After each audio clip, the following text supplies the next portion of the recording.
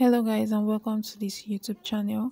So for this video i'll be making a ruch sleeve just like the one you saw and i'll be needing measuring tape. I'll be needing my scissors. I'll be needing needle and thread and a writing material as well. So before i start guys please don't forget to like comment and subscribe to this channel. Thank you very much. So the fabric i'll be using for this tutorial is a doll face fabric and I'll be using half a yard of a doll face. And as we all know a doll face a full yard of a fabric is marked 36 inches. And in order to get half a yard if you don't want to use your calculator you can fold your tape into two from the 36 inches and then the divided end of the tape is going to tell us what the division is and you can compare it to your calculator to see if we are right or not. Well this is just to note just in case you don't know. So guys the full length of irregular doll face fabric is 58 just to be sure of what we are working with. So no one is left behind. The full length of the of a doll fabric is 58 irregular face fabric is 58 and that is what i'm trying to show you all here. So we are sure we are all on the same page.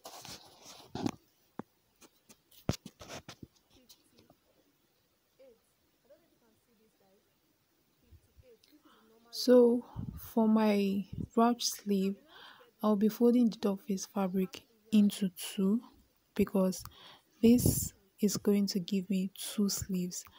And i have a folded end and an open end so for the folded side of the face, I'll be cutting it up using my scissors. I'll be cutting it up, making the fabric to be two instead of one folded fabric.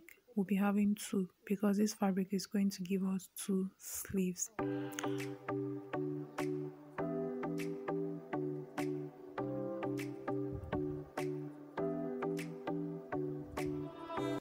So now that I'm done cutting the fabric into two, I'll be working on one side of the fabric and there are some measurements that you can use to achieve this type of sleeve. You could use either 2 inches, 3 inches, one and a half inch, even 1 inch or even half an inch.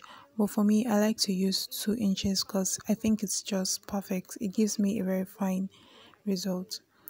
So over to this now, I'll be marking 2 inches on the fabric 2 inches from my tape on the fabric. I'll be marking it on both the length and both the length and the depth of the fabric in order to get a box square. Mind you, we are trying to achieve a box square first on the fabric before we go ahead. So you can see how I am marking the 2 inches. I am actually taking my time and showing you all I could have gone in to start marking it on the fabric as 2, 4, 6, 8 but I just kept on moving the tape marking it 2 inches so you all understand what I am doing.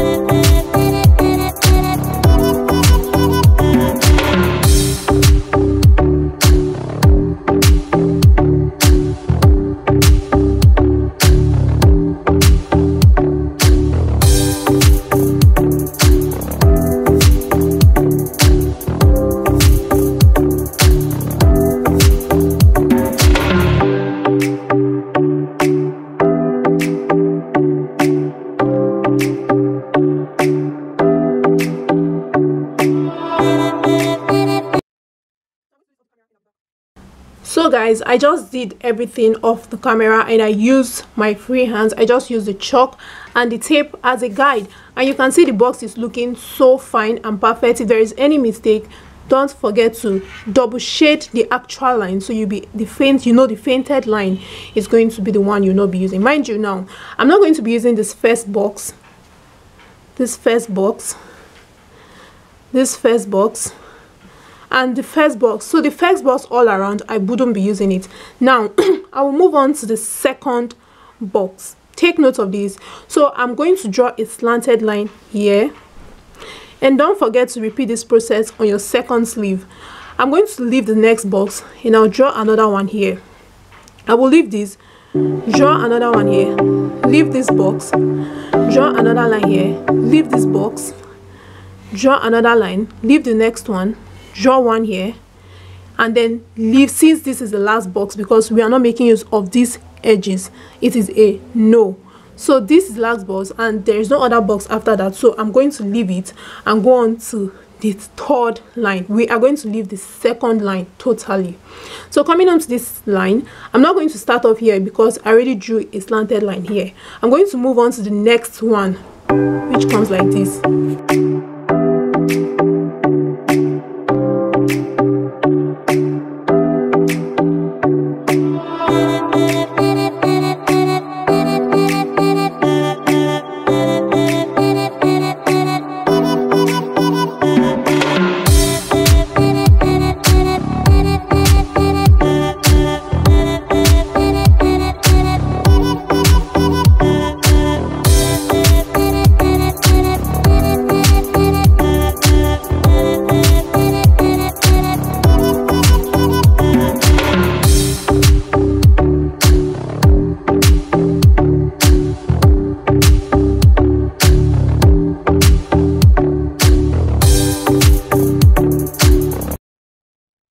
side now I'll be using the needle and thread to pinch a little bit of the fabric from one of the slanted lines to the second slanted line. And then I'll pull the thread so, so that the fabric will join at both ends like what you're seeing right now. And then I'm going to tie the thread. And this is going to give it a kind of rosy look like a rosy shape just by joining those two slanted edges together. And I'm going to be repeating this process on all the slanted lines. Mind you everything you're doing on this sleeve you're also repeating it on the second sleeve. So we'll repeat the same process on the next line and then I'll tell you what next to do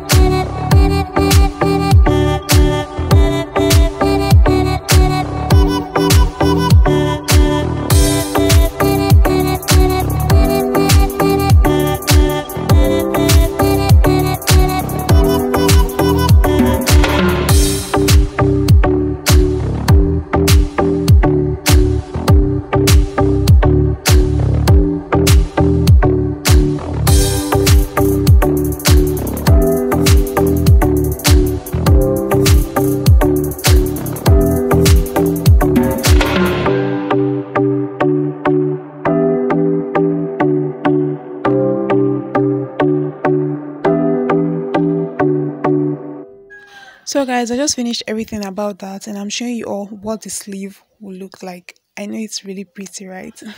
So i went ahead to cut out the normal sleeve using the lining and I use my client's measurement. So this measurement is actually small and that's why I'm not sharing the measurement I used with you. You can go ahead and cut out your sleeve according to your measurement. And then I cut out the band for it because the sleeve will be having a band. You will see that in the picture and I cut two of it. I really didn't use a measurement for the band because once I'm done joining the band, I will trim out the excesses. I really don't like using measurements for my bands. So as for the sleeve itself, the doll face that we worked on, I'll be pleating it on the lining to make sure it all comes to the same measurements with it. And if you pleat this doll face on the lining it's going to give it a more beautiful look. Honestly guys this sleeve is really beautiful. I love to recreate this sleeves. Like i am not tired of making these sleeves. I've made it for like three customers and this is my third time of making it and i really enjoyed it guys. So i decided to share this tutorial with you all and i hope you all enjoyed it. And in case you've done yours and you actually like what it turned out to be. Please don't forget to send us a picture or post or share it tagging us using the hashtag on instagram sew with jesika recreation.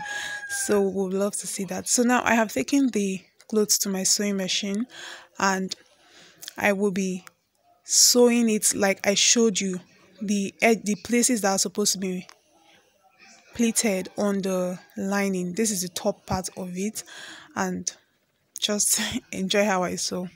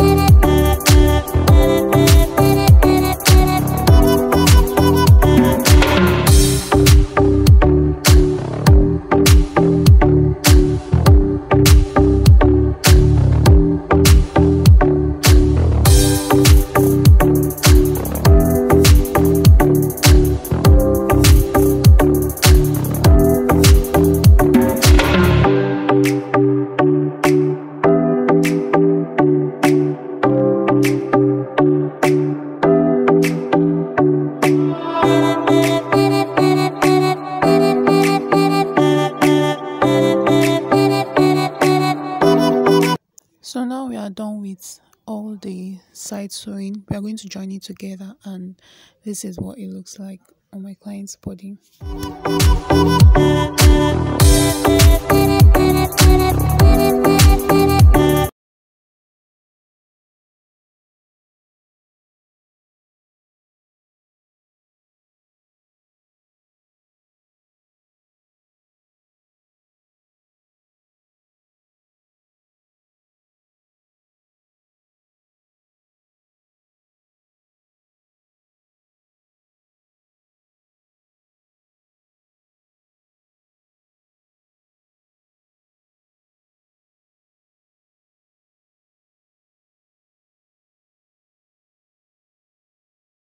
you